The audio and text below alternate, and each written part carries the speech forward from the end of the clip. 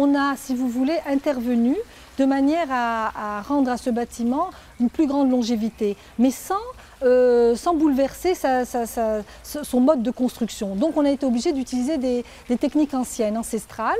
Et là, c'est là où était la difficulté, c'est qu'on n'avait pas forcément des maçons qui avaient intervenu dans, dans le bâti ancien et auxquels on avait appris, si vous voulez, les gestes de leurs ancêtres.